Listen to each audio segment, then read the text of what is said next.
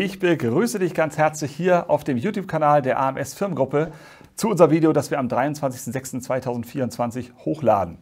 Letzte Woche habe ich mal wieder als Bieter nach längerer Zeit an einer Zwangsversteigerung teilgenommen und bin während des Verfahrens in Diskussion mit einem Mitbieter und dem Bankvertreter gekommen, die beide behauptet haben, man hätte als Ersteher von Wohnraum im Zwangsversteigerungsverfahren in jedem Fall ein Sonderkündigungsrecht, um Wohnraummietverhältnisse problemlos ohne weitere Begründung zu kündigen. Insofern sei die in dem Fall unbekannte Verbietungssituation der Wohnungen kein Problem. Und weil ich diese Aussage in den letzten 22 Jahren im Rahmen von Zwangsversteigerungen immer wieder gehört habe, kam mir dann nach dem Termin die Idee, ein Video zu diesem Thema zu machen. Damit du, wenn dich mal ein Zwangsversteigerungsobjekt interessiert, ganz genau weißt, ob du das Mietverhältnis übernehmen musst oder ein Sonderkündigungsrecht hast. Dazu werde ich mir sicherlich noch an der einen oder anderen Stelle einen kleinen Tipp oder Hinweis zu Zwangsversteigerungsverfahren generell nicht verkneifen können, möchte das Video aber auch nicht zu lang machen. Wenn dich das Thema Zwangsversteigerung generell interessiert, dann schreib das doch gern mal in die Kommentare, sodass ich weiß, ob dazu weitere Videos hier auf dem Kanal gewünscht sind.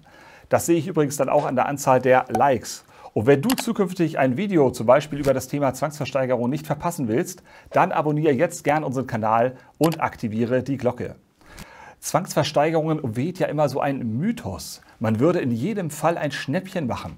Wenn jemand sagt, er hätte eine Immobilie im Weg der Zwangsversteigerung erworben, assoziieren die meisten sofort, dass man das Objekt sehr günstig gekauft haben muss. Aber das ist natürlich längst nicht immer so. Um zum Beispiel den Gutachterpreis richtig einordnen zu können, brauchst du schon eine gewisse Marktkenntnis. Dazu kommen noch andere Risiken. Oft kannst du zum Beispiel das Objekt im Vorfeld nicht besichtigen. Manchmal war auch der Gutachter nicht drin im Objekt, sodass du nicht weißt, was dich erwartet. Das war übrigens bei, den Wohnungs-, bei dem Wohnungspaket, für das ich hier geboten habe, auch so. Teilweise ist die Miethöhe bei Versteigerungsobjekten nicht ganz klar. Manchmal liegen die Mietverträge nicht vor, sodass die Vertragsdetails nicht bekannt sind. Dieses Risiko ist natürlich wesentlich geringer, wenn das Objekt unter Zwangsverwaltung steht. Und du musst bei Versteigerungen zu einem bestimmten Zeitpunkt, den das Gericht am Ende der Versteigerung festlegt, zahlen, egal ob dir rechtzeitig alle Objektunterlagen für die Bank vorliegen oder der Gutachter der Bank die Wohnung besichtigen konnte oder nicht. Du hast keinen bzw. kaum Einfluss auf den Zahlungstermin, der meist schon auf acht bis zehn Wochen nach dem Versteigerungstermin festgelegt wird. Das ist dann auch ein wichtiger Tipp von mir. Sprich mit dem Rechtspfleger und dem betreibenden Gläubiger am Ende des Termins, wenn es dann um den Verteilungstermin geht, und äußere den Wunsch, dass du den Zahlungstermin gern erst in drei oder dreieinhalb Monaten haben möchtest. Wenn deine Finanzierung zum Beispiel noch nicht zu 100 Prozent bearbeitet wurde oder wenn du nicht komplett aus Eigenkapital zahlst, was meist nicht so schlau ist bei Vermietungen. Oft geht der Rechtspfleger auf diesen Wunsch ein und das verschafft dir etwas Zeit, Objektunterlagen zu beschaffen, Kontakt mit dem Mieter aufzunehmen und die Finanzierung letztlich zu besorgen. Dass wir nicht mehr so oft bei Zwangsversteigerungen sind, hat mehrere Gründe. Zum einen ist ganz simpel die Zahl der Versteigerungen im Vergleich zu den Jahren zum Beispiel 2002 bis 2010 drastisch zurückgegangen und damit auch die Auswahl an Objekten. Ein weiterer Grund ist, dass oft eher problematische Objekte, um es mal vorsichtig zu beschreiben, in die Zwangsversteigerung kommen. Die anderen attraktiveren Immobilien werden vorher am freien Markt verkauft. Das war im Prinzip vor 20 Jahren auch so, aber aufgrund der insgesamt höheren Anzahl an Versteigerungen gab es damals doch mehr vernünftige Objekte, bei denen eben ein Verkauf anders nicht ging als durch Zwangsversteigerung, weil ein Eigentümer nicht mitgewirkt hat oder ähnliches. Wenn dann mal eine vernünftige Immobilie versteigert wird, ist das Interesse und die Zahl der Mitbieter aktuell so hoch, dass die Preise im Bieterwettbewerb im Termin regelmäßig aus unserer Sicht zu hoch getrieben werden, nicht selten über den vom Gutachter ermittelten Verkehrswert. So war es auch hier. Wir haben den Zuschlag letzte Woche dann auch nicht bekommen, weil ich von Privatkäufern weit überboten wurde. Ich hoffe, dass die Käuferin, die letztlich den Zuschlag erhalten hat, mit den Objekten klarkommt, dass sie die Probleme managen kann und es für sie kein Geldgrab wird. Aber das nur nebenbei. Ein weiterer Aspekt, warum wir seit vielen Jahren nichts mehr über eine Zwangsversteigerung erworben haben, ist, dass bei der Art von Objekten, die wir hier bei der AMS Firmengruppe suchen, von den Standorten her, der Objektqualität und der Größenordnung, es nur sehr selten zu Zwangsversteigerungen kommt. Zum Beispiel dann, wenn sich die Eigentümer anders nicht einigen können. Im Regelfall werden die meisten dieser Objekte, die unserem Suchprofil äh, entsprechen, off-market verkauft. Insofern bin ich, anders als noch zu Anfang der 2000er, nicht mehr sehr häufig bei Zwangsversteigerungen. Aber in diesem Fall, in der letzten Woche, und da kommen wir zu einem weiteren Tipp von mir, hatten wir uns mit dem Gesamtobjekt, in dem die Wohnungen sind, schon etliche Monate vorher wegen eines anderen Kaufangebots intensiv beschäftigt. Du siehst, wenn ich mal über Zwangsversteigerungen anfange, dann kommt automatisch der eine oder andere Gedanke.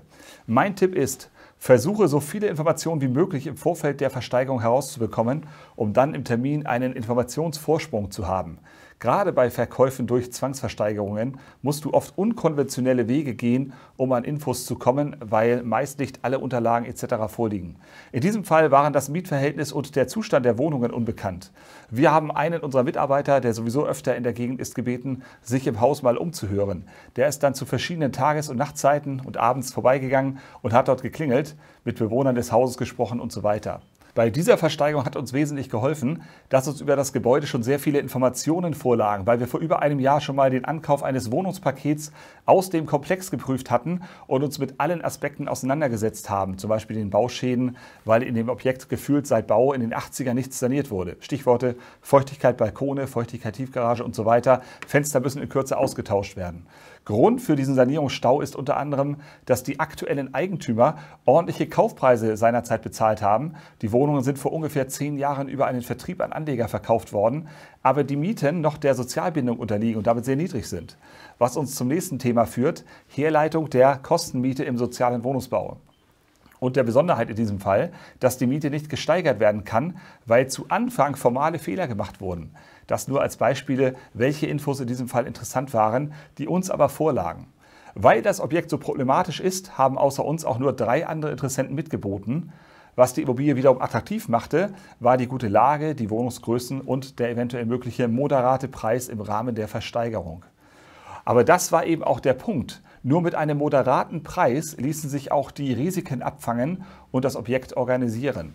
Daher machte ich meine Mitbieter auf das Risiko aufmerksam, dass komplett unbekannt war, ob und an wen und zu welchen Konditionen die Dachgeschosswohnungen vermietet waren und wie der Zustand ist. Stichwort Feuchtigkeit in den Wohnungen durch ein defektes Dach. Da keine Zwangsverwaltung bestand, hätte der Eigentümer auch selbst noch vermieten können, unter Umständen mit sehr ungünstigen Klauseln für einen Eigentümer. Aber das ist jetzt ein anderes Thema. Und in dem Zusammenhang wurde dann von einem Mitbieter und auch dem Bankenvertreter behauptet, es bestünde sowieso in jedem Fall auch bei Wohnraum ein Sonderkündigungsrecht nach 57a Zwangsversteigerungsgesetz, kurz ZVG genannt, um das Mietverhältnis aufzulösen und die Wohnung neu dann natürlich auch höher zu vermieten. Im Gesetz steht wörtlich, der Ersteher ist berechtigt, das Miet- oder Pachtverhältnis unter Einhaltung der gesetzlichen Frist zu kündigen. Die Kündigung ist ausgeschlossen, wenn sie nicht für den ersten Termin erfolgt, für den sie zulässig ist. Die Bedingung ist also laut Gesetz, dass dieses Sonderkündigungsrecht nur dann greift, wenn der Ersteher dem Mieter zum ersten zulässigen Termin nach Zuschlag kündigt.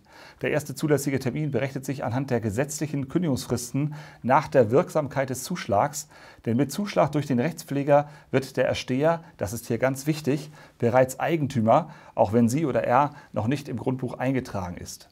Wenn man nur diesen Paragraphen 57a ZVG liest, könnte man wirklich zu der Ansicht kommen, dass in jedem Fall ein pauschales Sonderkündigungsrecht besteht. Als Nichtjurist und Laie fragt man sich dann, wo bleibt denn in diesem Fall der Mieterschutz? Was kann ein Mieter dafür, dass die von ihm gemietete Wohnung versteigert wird? Vielleicht lebt sie oder er schon 40 Jahre in der Wohnung. Kann es wirklich sein, dass im mieterfreundlichen Deutschland solche Regeln gelten?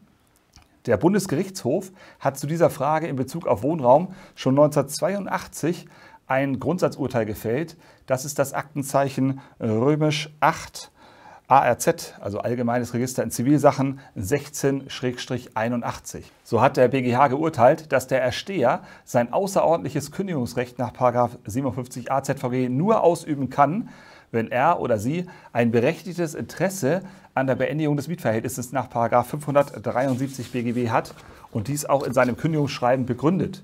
Und was sind berechtigte Interessen gemäß 573 BGB?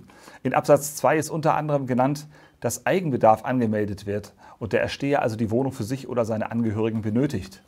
Diese Einordnung des BGH ist mittlerweile auch gesetzlich verankert und ergibt sich aus 573d Absatz 1 BGB. Dort steht, kann ein Mietverhältnis außerordentlich mit der gesetzlichen Frist gekündigt werden, so gelten mit Ausnahme der Kündigung gegenüber Erben des Mieters die Paragraphen 573 und 573a entsprechend. Das bedeutet Kündigung nur bei berechtigtem Interesse, wie eben geschildert. Fazit. Unser Rechtsgefühl als Laien täuscht uns nicht. Wenn du eine vermietete Wohnung durch Zwangsversteigerung erwirbst, musst du die Regeln des Kündigungsschutzes ebenso einhalten wie jeder andere Vermieter. Insbesondere musst du als Eigentümer dein berechtigtes Interesse an der Beendigung des Mietverhältnisses gemäß 573 BGB nachweisen. Und der Mieter hat auch das Recht, der Kündigung zu widersprechen, wenn zum Beispiel ein Härtefall vorliegt. Gehe also bei der Kalkulation eines Zwangsversteigerungsobjekts nicht davon aus, dass du den Mieter einfach kündigen kannst, um dann neu zu einem höheren Preis zu vermieten, so wie der Mitbieter, den ich, wie vorhin berichtet, getroffen habe. Jetzt stellt sich natürlich die Frage, in welchen Fällen ist denn dieser Paragraph 57a des Zwangsversteigerungsgesetzes überhaupt relevant? Ich habe dazu einen interessanten Fall gefunden, der auch vom BGH zu beurteilen war. Ich will den Fall aus Zeitgründen hier nicht groß ausbreiten. Wer Interesse hat, kann das Urteil mit Begründung vom 15.09.2021 gern selbst nachlesen. Im Wohnraummietvertrag war jedenfalls folgende Vereinbarung festgehalten. Eine Eigenbedarfskündigung durch den Vermieter ist ausgeschlossen. Die Wohnung wurde versteigert und der Ersteher hat unter Berufung auf das Sonderkündigungsrecht nach Zwangsversteigerung eine Kündigung wegen Eigenbedarf ausgesprochen, weil die Wohnung für den volljährigen Sohn äh, benötigt wurde. Die Mieter haben sich dagegen gewehrt, unter anderem mit der Begründung, im Mietvertrag mit dem Voreigentümer sei genau das, die Eigenbedarfskündigung, ausgeschlossen worden. Aber der Bundesgerichtshof hat dem Ersteher Recht gegeben, dass hier das Sonderkündigungsrecht nach 57a ZVG greift. Das heißt, solche im Mietvertrag vereinbarten Kündigungsausschlüsse werden durch die Sonderkündigungsmöglichkeit nach einer Zwangsversteigerung durchbrochen. Die vorzeitige Kündigung unter den genannten Voraussetzungen, berechtigtes Interesse usw. So sind dem Ersteher möglich. Und solche Sondervereinbarungen sind gar nicht so selten. Manchmal werden Kündigungen durch den Vermieter nicht nur unbefristet, sondern auch nur befristet für zum Beispiel zehn Jahre ausgeschlossen. Der Mieter möchte Sicherheit und Ruhe haben, auch wenn Erben zum Beispiel das Objekt übernehmen. Und der Vermieter hat kein Problem damit, weil er oder sie sowieso nicht einziehen will. Im Fall einer Zwangsversteigerung greift so eine Vereinbarung dann leider aus Sicht des Mieters nicht. Aber ihm stehen natürlich alle anderen gesetzlichen Kündigungsschutzvorschriften zu. Das ist ein Anwendungsbeispiel bei Wohnraum. Noch ein kurzes Wort zu Gewerbemietverträgen, wobei das bei uns bei der AMS Firmengruppe hier nur ein Randthema ist. Soweit ich recherchiert habe, aber das ist ohne Gewähr. Wir sind ja keine Anwaltskanzleien, übernehmen natürlich auch keine Gewährleistung für unsere kostenlosen Inhalte. Kann dieses Sonderkündigungsrecht bei Gewerbemietverträgen auch bei längeren Laufzeiten grundsätzlich angewendet werden, wobei die gesetzliche Kündigungsfrist bei Gewerbemietverträgen sechs Monate beträgt. Wie vorhin schon gesagt, schreib mir doch gern mal in die Kommentare, ob dich weitere Videos zum Thema Zwangsversteigerungen interessieren und welche Fragen du zu dem Thema hast. Und wenn du Erfahrungen mit der Übernahme von Mietverhältnissen nach Zwangsversteigerung hast, weil du selbst Wohnraum ersteigert hast, dann teile das auch gern in dem Kommentarbereich.